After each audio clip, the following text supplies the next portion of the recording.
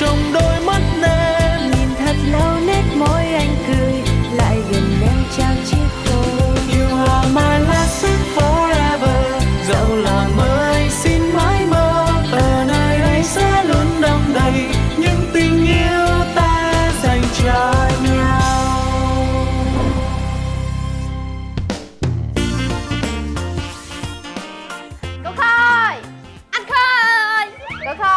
thử làm giám khảo đi coi Coi hai đứa con đứa nào nó ăn ngon hơn.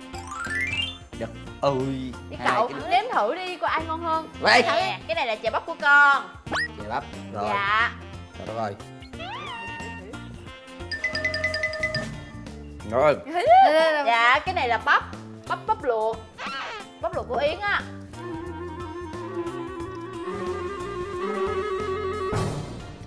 Rồi cậu quyết định. Dạ, So với một trái bắp luộc. Dạ, Và một chén chè bắp. Dạ. Thì đương nhiên Trái bắp luộc. Thua Nó vô luộc đơn giản mà Thấy không? Đó Lại thắng. Rồi nó nấu chè bắp rồi đầu tư đàng hoàng Tôi luộc bắp rồi thử gì ông Tư. Thấy Chứ Yến, nấu ăn á mình phải có đầu tư một chút xíu Mình phải kỳ công một chút xíu thì món ăn nó mới ngon nha Yến Chứ không phải là đơn giản vậy là ngon đâu nha Yến. Thì em em nhường chị một bữa chứ bây giờ em vừa đẹp mà vừa nấu ăn ngon nữa thì ai chịu nổi? Đúng không?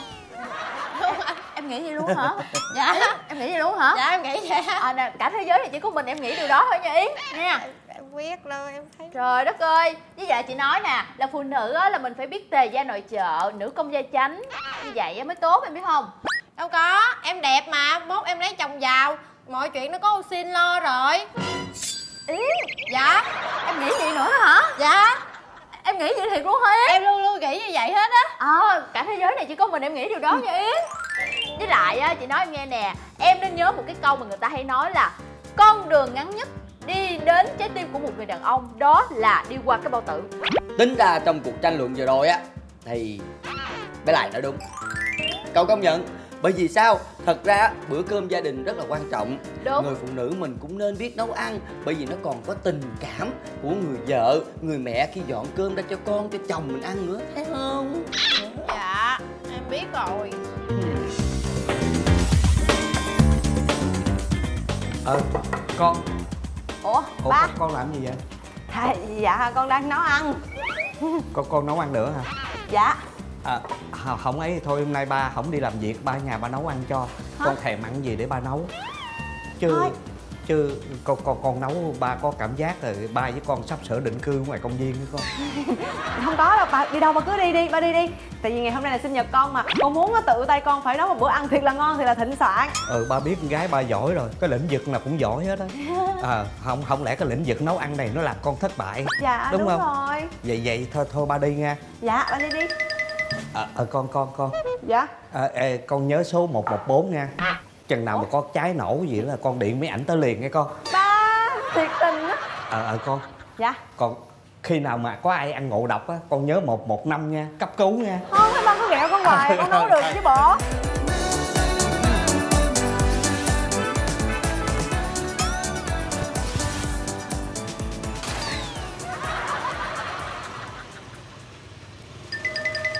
À Peter lịch lãm đây sao?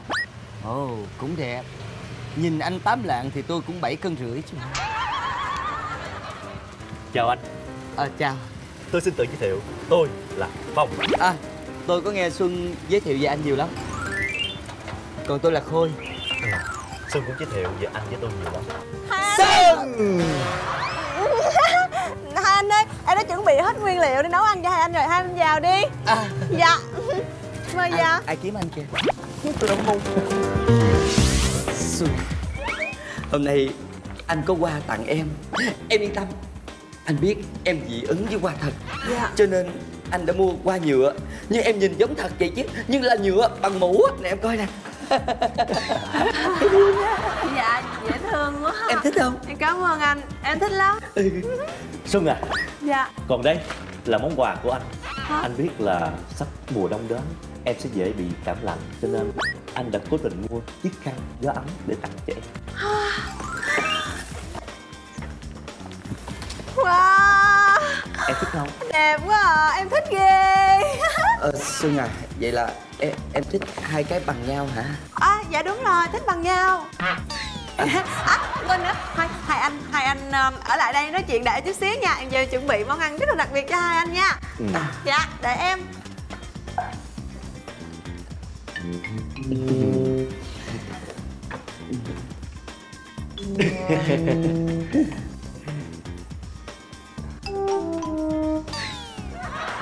Ờ...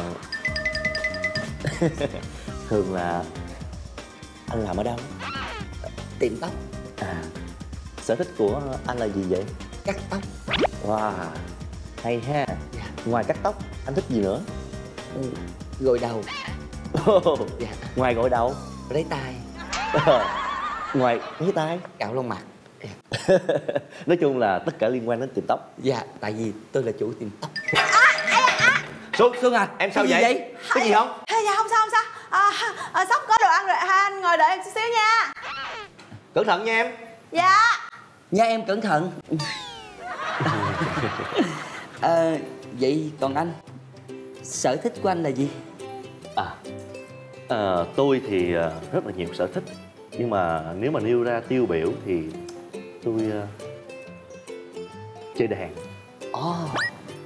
Piano ồ. À, thấy anh chơi không làm ăn gì hết ha. À. Không nhưng nó lãng mạn. Đúng. À, có lẽ xuân thích hợp với anh. Xuân ơi xuân ơi cái gì vậy? Em Cái gì nữa vậy sao em? vậy? Sao vậy hả? Thôi được rồi. Dạ được rồi được rồi. À, cái gì vậy? Có cần giúp gì không? Dạ không sao. Hai anh ơi À. cháy bếp rồi. Hả để để chờ chờ một chút. Gọi một một bốn liền dạ không sao. Em dập thành công rồi. À, cho nên không có gì ăn hết. Nhưng ờ, nhưng em đã cố gắng à, làm thủ công. À, hai món ăn rất là đặc biệt. Để dành cho tặng cho hai anh. Hai món là được rồi. Được rồi Dạ. có gì ăn cái đó cái em. này là trứng luộc và trứng la. Trứng trứng trứng trứng la là gì em? À dạ trứng bắp la. à trời ơi. ờ, xuân à. Dạ. Anh nghĩ ờ, cái này thì đâu có gọi là làm món ăn. Hiểu không? Ờ, anh thấy nó nó đơn giản mà nè coi nè. Em, em luộc trứng mà em luộc vậy coi sao được. Cái trứng là đơn giản nhất á. Còn cái trứng la này là nè là người ăn la đó. Nhìn vô là la đó xong nó khác lẹt đen thù vậy. Không tôi nghĩ là xuân đã cố gắng làm hết mình rồi. À, trứng này tuy nó không được đẹp nhưng mà nó chứa đựng đầy tình cảm của xuân. Còn đây trứng la này là hợp lý đó nó là trứng la. Tại vì à, đó là cái sự gọi là tôi với xuân hay kêu là trứng la. Để xuân cố tình nói gì đó ám hiểu tôi hiểu. Trời ơi. Và xuân biết là tôi thích ăn khét cho nên à, xuân đã cố tình làm khét như vậy. Thật là Phải. ngon quá đi mà. Không phải là anh không biết đâu. Mỗi lần mà tùy nấu cơm cho tôi ăn á nha là món canh nè món xào nè rồi á là món chiên nè rồi rau luộc nè phải đầy đủ các món gì đó. Em biết rồi. Thôi anh đừng có nói nữa. Em thất bại trong cái chuyện bếp nút rồi đúng không em là một người phụ nữ không có hoàn hảo. Thôi đem đem đi đổ. Không ờ đổ Không đi. em à. Ủa, sao lại đổ? Công ai sức của xuân làm sao mà đổ? Để đây một lát. Anh ăn hết. Nói chung là thời buổi bây giờ theo quan điểm của anh chuyện nước không phải là gánh nặng của phụ nữ nữa em à. Trời. tại vì công việc bộn về phụ nữ phải lo toan rất là nhiều thứ. Dạ. Nếu như em bận bịu anh đây có thể vào bếp phụ em. Nhưng mà hai anh yên tâm đi. Em không có giỏi bếp nút nhưng mà có ba em ba em giỏi lắm. Nếu như hai anh ừ, mà có một trong hai anh lấy em về thì em sẽ khuyến mãi thêm ba em. Ba em sẽ cùng ăn chung à, ngủ chung với tụi mình. À, rồi nấu ăn chung với tụi mình nữa. Ủa, xuân xuân em có nghĩ tới việc là em cần phải có gia đình riêng không? Biết là ba mẹ ai cũng thương hiểu không? Nhưng mà đâu có thể nào lúc nào cũng vậy được. Em có gia đình riêng rồi em có con có cái em làm mẹ làm vợ. Rồi em phải biết nấu ăn cho chăm sóc cho con cho cái em chứ cho chồng em chứ không. Đúng. Anh nói như vậy tôi không tán thành. Cái quan điểm của người ờ, Việt Nam truyền thống thì ờ, thế hệ là phải từ ông bà cha mẹ và con cháu ở chung. Như vậy có thể là chứa đựng nhiều tình cảm và có thể chăm sóc lẫn nhau. Cái đó là truyền thống của Việt Nam mình anh hiểu không? À. Xuân à. Dạ. Anh rất thích khi mà chúng ta về chung một nhà có ba em ở bên cạnh. Anh cảm giác là nhìn ba em giống như là nhìn ba của anh. Ôi thật là thiêng liêng. Tình cảm thật là đông đầy em mà nhưng mà ngủ là phải ngủ riêng phòng. Nhưng mà anh sẽ đắp chăn cho ba em mỗi tối. Anh ấy chăm sóc đầy đủ hết. Em không cần làm gì để anh lo hết cho em em mà thật là hạnh phúc quá đi mà. Ờm, tôi xin lỗi vì chúng ta không cùng quan điểm. Nhưng xuân à anh nghĩ là chắc anh phong thích hợp với em hơn là anh. Không. Lúc nãy tôi còn nghĩ là tôi thích hợp với xuân hơn. Ừ. nhưng qua cuộc nói chuyện nãy giờ nhìn trong ánh mắt trong veo của anh tôi cảm nhận anh mới chính là người thích hợp với xuân nhất. Không phải đâu. Thật ra anh luôn luôn binh vực xuân anh thích hợp hơn tôi. Không. Anh xuân ở với anh sẽ hạnh phúc hơn mà. Không phải đâu. Tôi có thể giáo dục xuân thành người tốt nhưng mà anh chiều xuân thì tốt hơn. Tôi nhường xuân cho anh. Không. Tôi nhường xuân cho anh. Không tôi nhường xuân cho anh. Đừng có nhường qua nhường lại tôi nhường mà. Tôi nhường. Năn nỉ anh đó lấy xuân giùm tôi đi. Ông ông tôi năn nỉ anh đó tôi nhường xuân cho anh đó. Tôi năn nỉ anh mà anh khôi à đừng đừng đừng giúp tôi đi anh khôi à Thôi đủ gì mà nhường em qua nhường em lại vậy hả? Không phải là em nấu ăn dở quá cho nên là Hai người đùn đẩy nhau không có ai chịu em hết đúng không? Thôi được rồi Em không cần hai anh nữa Em sẽ sống suốt đời với ba của em. Ừ. Ừ. Quyết quyết vậy gì đi. đi. Xuân Xuân Xuân ơi. Xuân Xuân xuân ơi. Hai anh về đi không cần xuân. Xuân xuân ơi. Xuân ơi Xuân. Xuân.